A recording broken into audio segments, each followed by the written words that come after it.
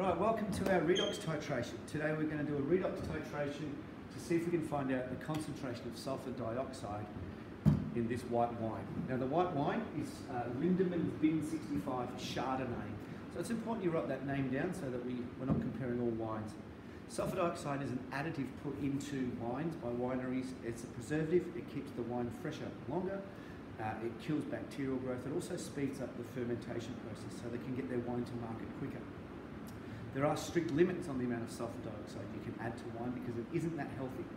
Some people have allergic reactions to it, and it's certainly been linked to headaches and other problems. So this wine, we're going to see what concentration of sulfur dioxide they've put into it. All right. To do it, we have to first of all free the sulfur dioxide. So when they pump the sulfur dioxide into a wine, it reacts and it's going to form sulfites. Now those sulfites we're going to get to become sulfur dioxide, aqueous sulfur dioxide. Now to do it, we are going to get some sodium hydroxide. Now I need 15 mils of sodium hydroxide. I'm going to put it into these conical flasks. I'm not really concerned about exact amounts here because this is an excess reaction. We're just trying to get all of the sulfites to convert to sulfur dioxide. So I don't need any kind of level of accuracy. I'm looking for around about 15 mil. I don't need a burette for this. I simply need a measuring cylinder. Okay, now I'm going to get exactly 20 mil. So this is a pipette. It's a 20.00. That's really important for our significant figures. And I'm going to see if I can draw out 20 mils, 20.00 mils of this wine. So if I grab the wine, the first thing I want to do is ensure that this is a clean pipette. So to do that, I'm going to draw up a little bit. I'm not really concerned at how much. It's probably easier if I remove the pipette bulb here. And I want to just see if I can get that wine to coat every single surface and just take out any impurities, whatever was used in there before. Doing my best to coat every surface with the wine. I don't know if you can see it from there. And we're going to pour it into there. And hopefully that's got rid of any impurities, anything that could reduce our concentration. When I'm happy that that's been rinsed properly, I'm now going to draw up exactly 20 mil, or 20.00. So if I do this, remembering the meniscus we've talked about before,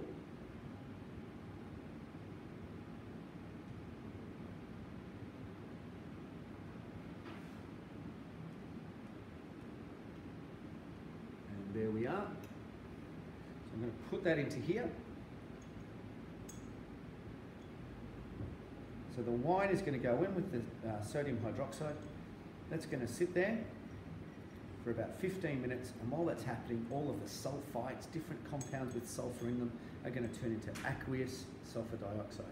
Now, once again, that's aqueous, so it's not going to escape. I can leave it open. I can leave it for 15 minutes. I can even leave it for longer. So I'll make up four, five of those. All right, step one done. Thanks. Okay, welcome back to part two. So it's been about 15 minutes. Our wine has been sitting in the sodium hydroxide. Hopefully all of the sulfites have turned into aqueous sulfur dioxide in that first step process. We've got a few of them made up here. Now what I need to do is turn that um, dissolved sulfur dioxide into a gas form of sulfur dioxide for it to actually work. But hopefully you understand, the second I add in my H2SO4 to do that, this gas is going to escape. So I don't want to do that until I'm ready. Okay, so that's going to be just before we titrate. What we are going to do is set up our burette. So this is our burette. Now this burette's probably had acids in it and bases in it. So what we've got to do first up is rinse it. Now we're going to rinse it really carefully and we're going to rinse it with some of the stuff that's going into it. And what's going into it is this. This is a dilute solution of iodine. So we actually have this made up today. That is the concentration of the iodine, and that's important. So make sure you've got that down in your results. And we are going to just rinse this burette with a little bit of my iodine.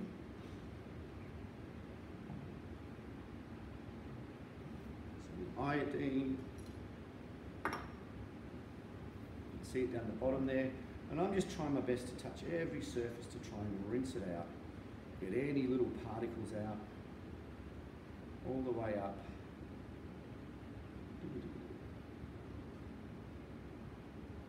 Okay, all the way to the top.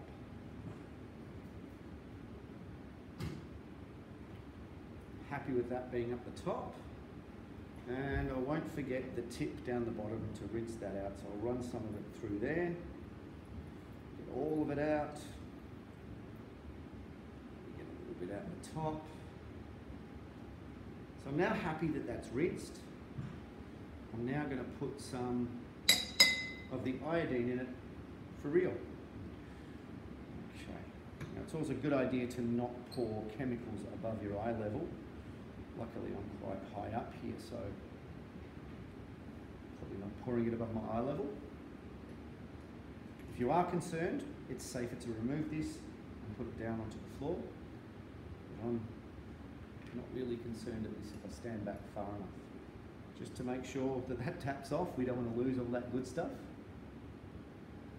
Now I'm not really concerned where I fill it up to. Obviously I don't want to go above zero, then I can't read it. Um, I don't want to go too low because I don't want to run out. So I'll fill it up to around about, I don't know, nice eye level.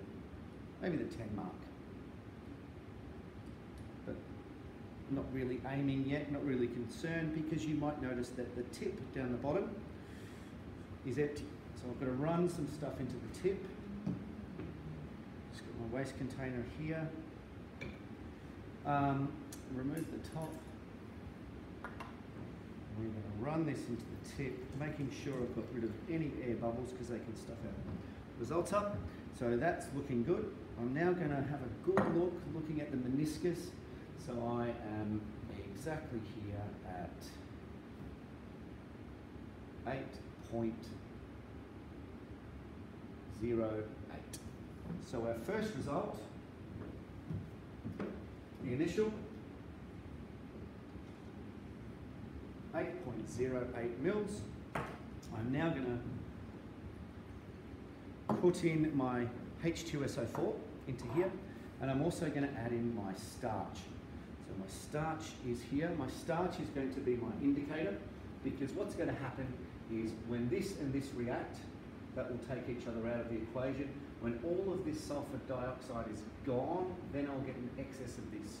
And the excess of iodine will be picked up by iodine and starch, makes a bluey black colour. So that's the idea. I'm going to put a couple of drops in here. The number of drops doesn't really matter so much. I'm going to do five drops and just remember five drops for each of them to keep it fair. That's the starch. We're going to use that starch as an indicator of when I've suddenly got excess of the iodine. Now I have to add in the last possible second my 10 ml of H2SO4, remembering that that H2SO4 is going to make the SO2 that's aqueous turn into SO2 that is now a gas. So it's my last possible step. Once again, I'm using a measuring cylinder here because the amount, the exact amount isn't really important.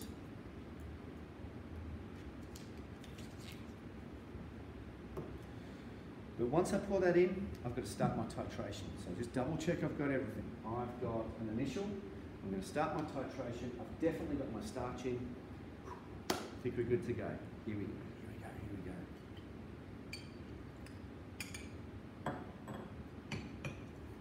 Okay, so hopefully you can see what's going on here. So we're reacting this, and as this is reacting, imagine the little iodines, the I2s, coming from here are reacting with the SO2s. And what's going to happen is, ooh, it smells lovely. It smells like bad wine. What's going to happen is as those SO2s and I2s meet, they're going to take each other out of the equation. And the second that we have too much I2, the second we've got not enough SO2 to take to get rid of the I2s, that I2 is going to then react with the starch. I can see a little bit of blackening up here. I feel like we're close, so I'm going to slow down and maybe concentrate for a little bit.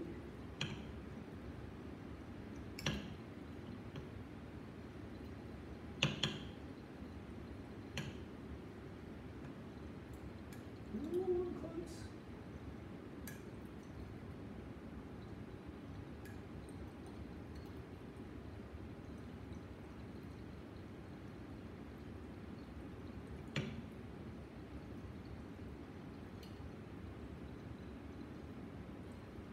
Okay. I'm just seeing the initial first bits of black in there. So I could go further, but it's always a good idea to just check how much I put in. So I'll write that number down and I'm seeing 45, 45.68.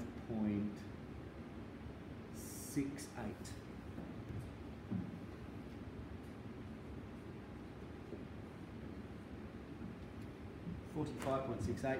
Now that I've got that written down, I can go a little bit further and see how much more I can actually do.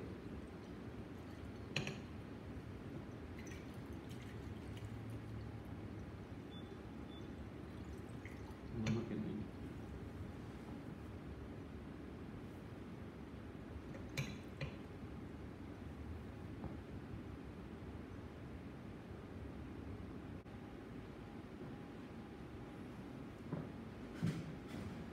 Okay, welcome back. Now we've done five titrations, and what's really interesting is the first ones that we've done have really started to fade. You can tell the last one that we've done. The results for them, and remember, all that we have to do is get the colour to stay for at least a couple of minutes, and it certainly did. So this is a process that took me around about half an hour. So as they've sat there, they've lasted their colour, and they've started to fade. But it's really important that you get your results here. So write these results down. We have the initial titration for five, the initial reading for five, the final reading for the five. What you have to do from here is work out what the titers were for each of the five. And then what's really important is to work out your average of your concordant titers. Hopefully you understand what that means. That is it. That is our redox titration to see if we can work out the concentration of sulfur dioxide in the wine that we use, the Lindeman's Bin 65. Your job from seeing these results is to work out if this wine is up to Australian standards, if this wine is safe, if what the concentration of sulfur dioxide in this wine is. Good luck.